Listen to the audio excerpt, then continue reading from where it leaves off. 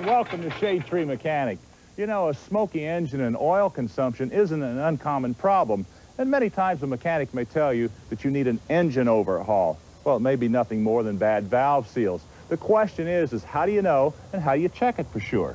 Good question. How do you know is you do some diagnostic work. Get these little engines here, and they've got a lot of oil circulating throughout them. Of course, you want to seal the oil from the combustion chamber, and that's done with the rings and the valve stem oil seals.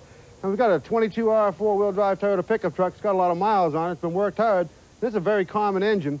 And this truck here, you know, when you drive it hard or you start it up in the morning, it smokes out the tailpipe. One of the things we're going to do to diagnose this, we're going to use a cylinder leakage gauge like this. Now, this cylinder leakage gauge is used like a compression tester, only use compressed air.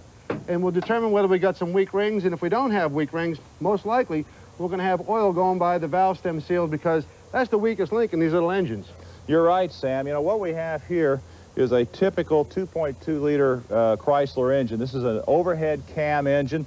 This is what you'll find almost all these type of engines. The cam is located up here on the top.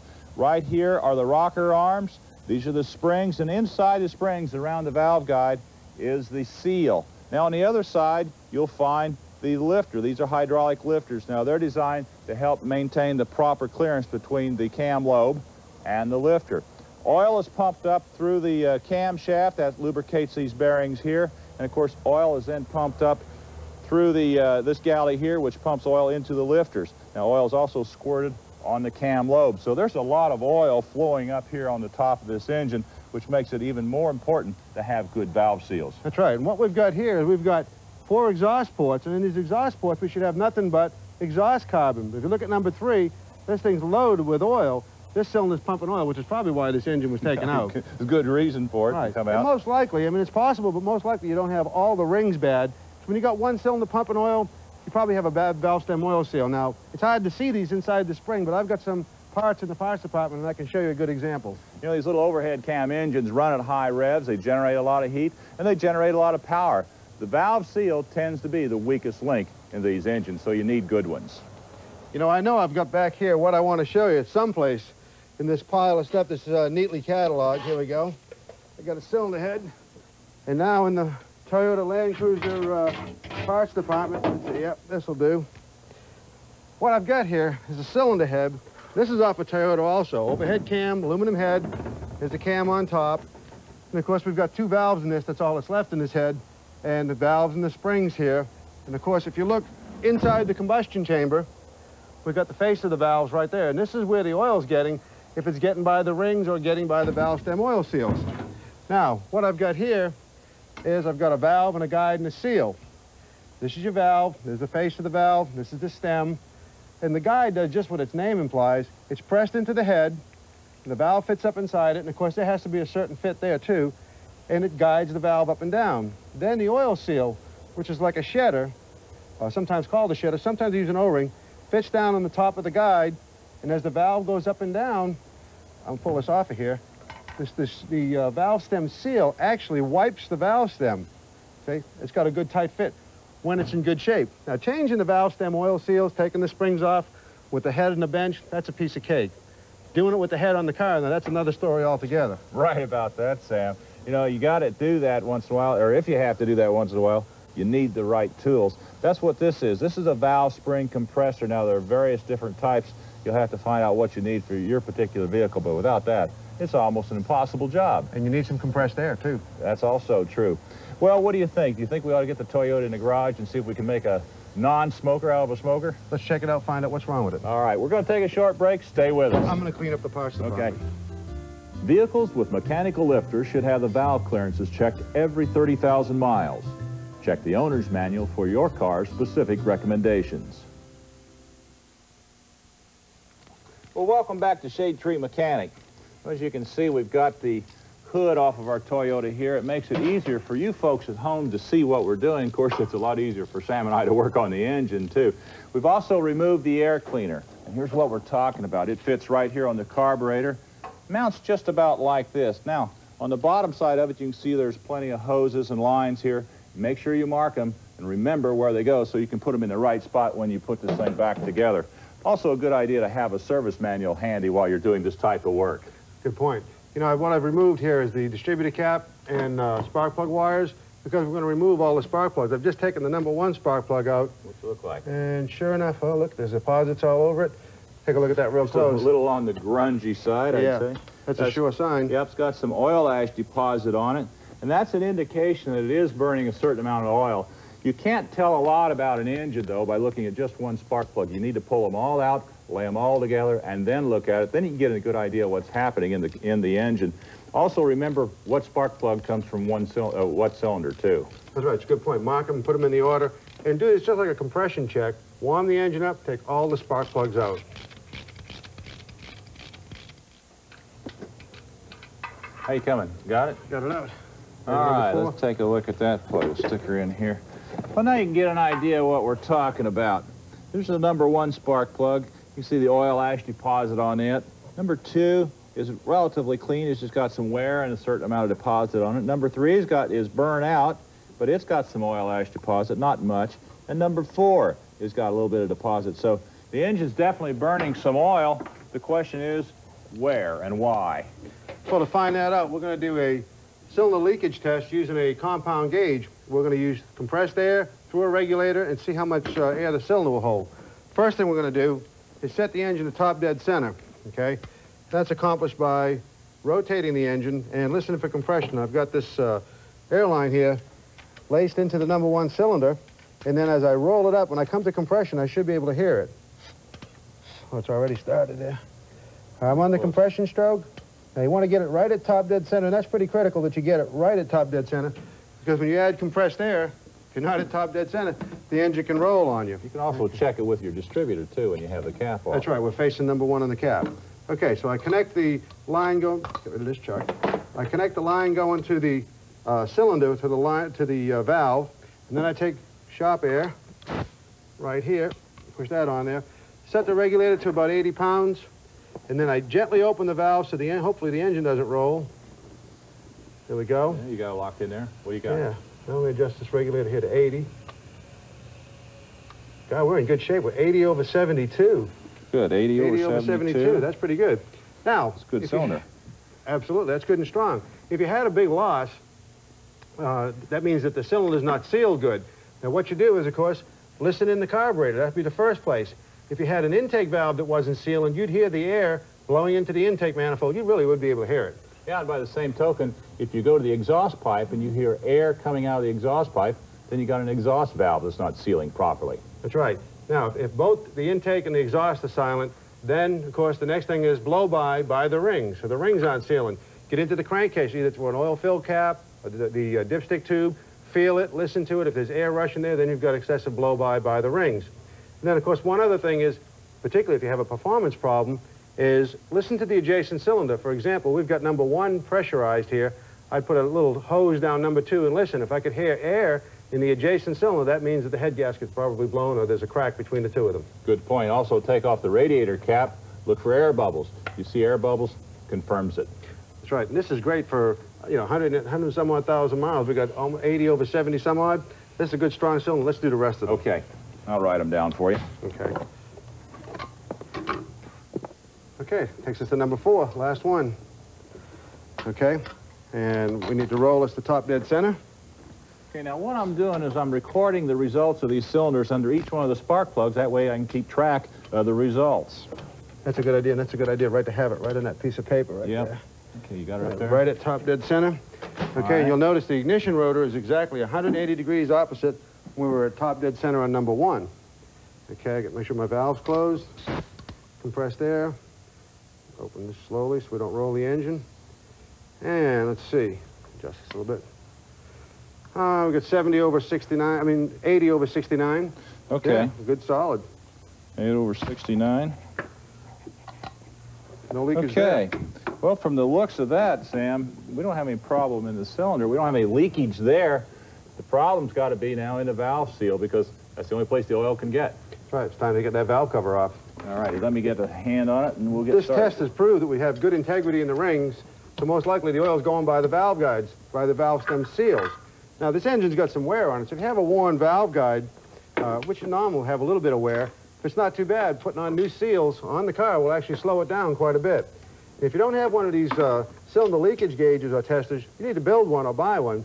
And if you build it yourself, you need two pressure gauges, a couple of T's, a regulator, and a valve. Most of that stuff's right off the shelf, uh, you know, regular brass hardware. And of course, if you have a compressor, just hook right up there. If you don't have a compressor, either rent one or you can get a portable air tank with a good-sized portable air tank, and that'll uh, help you do the job. Want some help pulling this off? Yeah, let me, give me a hand there. These little seals get cooked on here. Yeah, this one's a little tough. Okay, now I got it. There we go. Keep that way. All right. Yeah, let me see. Sometimes this will stick. Hey, that's pretty loose. Yeah, the seals pretty much hold it on. All right. Let's see if we can get her up here. Yeah. Pull this out of the way. All right. Okay. It's good and clean inside. Yeah, what we have here is basically a uh, four-cylinder engine. This is overhead cam, and you got two rocker shafts. And of course, you got a chain that drives the cam on this engine, as opposed to a belt on that engine we had earlier this morning. Now, the rubber belts run quieter, but they need to be replaced periodically. These chains are designed to uh, run the life of the engine. They don't always do that, but that's what they're designed for. Also, we don't have any hydraulic lifters here. We have rocker arms. These rocker arms have adjustments on them. So when we get all through putting this job back together, we're going to have to adjust the valves. Adjusting the valves is one of the last things we're going to have to do. Yeah, we got- got the tricky part, yes. And we got a lot more to go first. We're going to have to put in the new valve seals first. Before we do that, we're going to take a short break. So stay with us. Then we get into these rocker arms Let me give you a hand here. When installing a new valve cover gasket, it's important to torque the fasteners to factory specifications to ensure proper gasket sealing. Sequence. A good loosening sequence, good. Yeah. Well, welcome back to Shade Tree Mechanic. Well, in order to get to our valve springs, we have to take off the rocker arm assembly first. And the valve springs are right down here. Here's a spring and a retainer right here, number one. So we get this off, that allows you to use the spring compressor in order to remove the spring so we can replace the valve seal. That's right. And this the uh, rocker arm shaft on this engine, the assembly is held on by these 10 head bolts. So what we're going to do is remove the head bolts in the proper loosening sequence, remove the rocker arm assembly, and then we're going to reinstall the head bolts and tighten them up so we don't disturb the head. This one Okay, first. this one first, then that's number two. Okay. These are tight. All right, number two here. I got it? Yeah.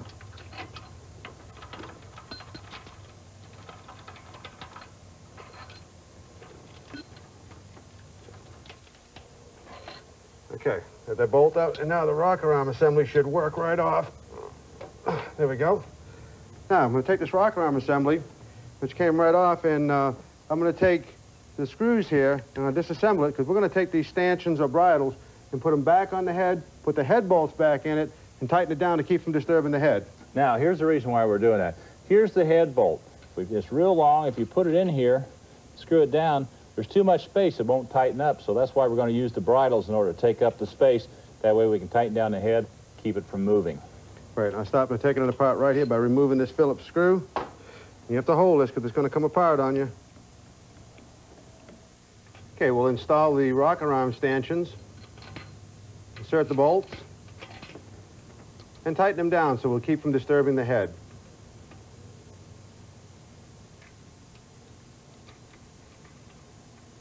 Here you go, Sam. Thanks, Dave. Now we're going to fill the cylinder with compressed air in order to hold up the valve. Of course, when you do this, you want to have, just like we did with the cylinder leakage test, you want to have the piston up in that cylinder. Now, you don't have to worry about what stroke it's on, like compression or exhaust, because the rocker arms are off, and both valves are closed, the cylinder's perfectly sealed, okay? Also, I got the compressed air in there now. If we should break an airline or something, and the valve falls when we got the spring off, the valve will hit the piston, and you won't lose it out of sight. If you have the, the piston down, then you're defeating the purpose because you got to take the head off. Okay, we got our air in the cylinder. Yep. Okay. Next thing we do is Put on our put our spring compressor on. Now you need to get down a little farther, Sam. Yeah. Okay, because it's a little difficult. I think you're close. Let me give you a hand here. Get, put some pressure on it. That one's in, Okay. and I How think does that feel? I think that one is going to be in here. Go ahead, put some pressure on it. Okay. All right. You bringing it up? Yeah, you're on. Okay. And you just wind it up so you can feel the keepers come loose. Are they coming loose? Yeah, I think they are on this one. Get this over a little bit. That's lucky. Sometimes you have to pop on the top a little bit, like that. Just be real careful, real ginger. Okay, give me a little bit more. Okay. All right, now I think You I can get get the any of those keeper. keepers Push out? it, push it down. There you go. There's one. There's one. Okay, I'll slide the, uh, the keeper around to you. right, let me. It's where a little magnet like this makes all the difference in the world. You got it? Got it. Okay, the keepers out, and now we pull out the valve spring.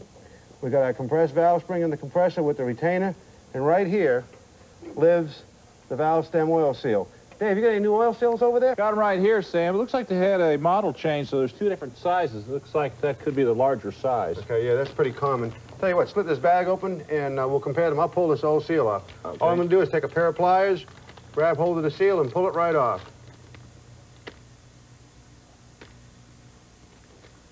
It's stuck on top of the guy, just lever it up, and there it is. And of course, there it is, hard as a rock. The inside of it's all gone. You can see it flaking apart. That's why it was leaking. Give me a new seal there, Dave.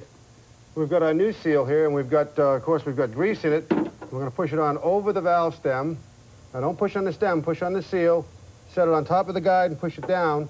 There's a little spring there you don't want to disturb. You can use a little socket. They make a little tool, but a socket works fine. A couple of shots. You seat it nice and tight on the guide, and you're all set. All set, except for the valve springs. You know, the valve springs sitting here, and they get hot, and they're crushed up and down. They can lose their shape. They can lose their tension. And valve springs can just give you a whole bunch of problems. Why you got them off? Now's the time to check them and replace them if needed. You know, valve springs, like I said, give you drivability problems, including very low power. Sam, we're ready to check them over here. Great, Dave. You know, folks, like anything else, a valve spring has its, its specifications. Now, for these particular valve springs on this particular vehicle, the installed height is an inch and 594 thousandths. That means that I've set my gauge right here for that installed height. Now, when we measure this, this spring should have at least 55 pounds of pressure or more to be good. So we'll put it in, set it in the center, and we'll push down on it and see exactly where we are. And the needle says, let me do this again. I'll zero it one more time. And we're about 65 pounds of pressure. So, Sam, it looks like this spring can be reused. That's great. I'm ready for it, too. See what you're talking about here, folks. When we, we do something like this, it's a lot of work. Getting to the valve springs, changing the valve stem oil seal. It's a little tricky dealing with the keepers. But now's the time to take care of it because, again, like I said, worn valve springs will give you drivability problems, make you lose power and economy. And guess what, big guy? What's that? The good news is we've only got seven more to do. That's good news. Bring that compressor with you, will you? All right. Well, as you can see, we got a lot more work ahead of us. In the meantime, we're going to take a short break. When we come back, we'll talk about new products, so stay with us. Seven more? After any extensive internal engine work, change your oil and filter to flush out any contamination that may have entered the engine. Well, welcome back to Shade Tree Mechanic. What you got there, pal? Well, you know Darrell Gwynn, the drag racer? Oh, yeah, sure. Well, he, like a lot of other racers, always had a problem with spark plug boots popping off the plugs. That's been a problem for a long time. yeah, it is. So, and they've tried to keep it from happening in a lot of different ways. Well, he came up with the boot lock, and this is what it is. It's a plastic or a nylon lock that fits on the base of a spark plug. Then it comes up and it'll capture the boot. You tie it on with a nylon uh, tie lock, and it'll hold it on there. That's a great deal. And it's great not only for just race cars, but also off-road trucks and cars, if you're doing that, motorcycles, and any type of, uh, like a marine or a boat. Yeah, You that's have great. a lot of bouncing. So it'll keep them from popping off. This is made by Mr. Gasket, cost about $32, and you can get it at about any parts store. Look what I got here. This is the Seal Right oil absorption mat. It's all-purpose, and it's made by Automotive Insulation out of Paterson, New Jersey.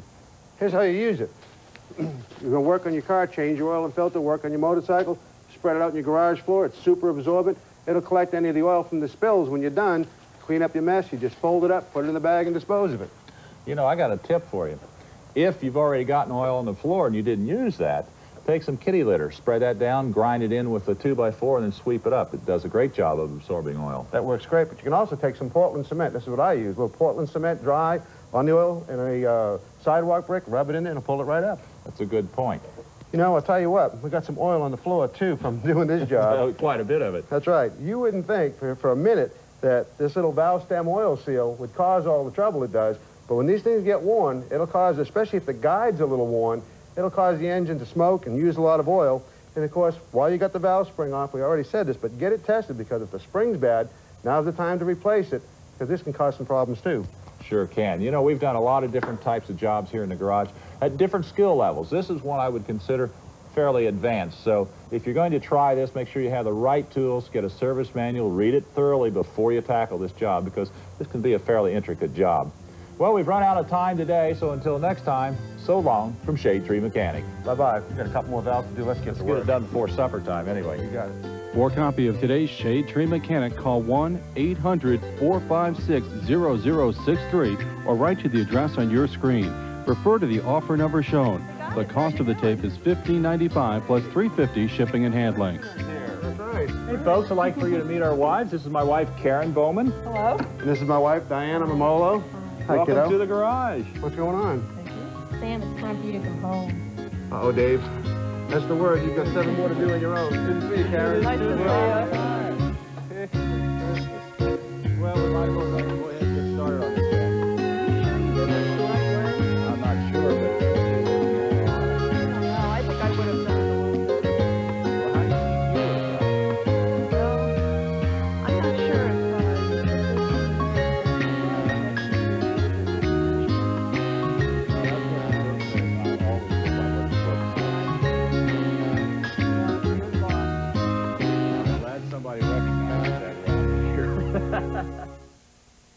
Brought to you by Old Milwaukee and Old Milwaukee Light. It doesn't get any better than this.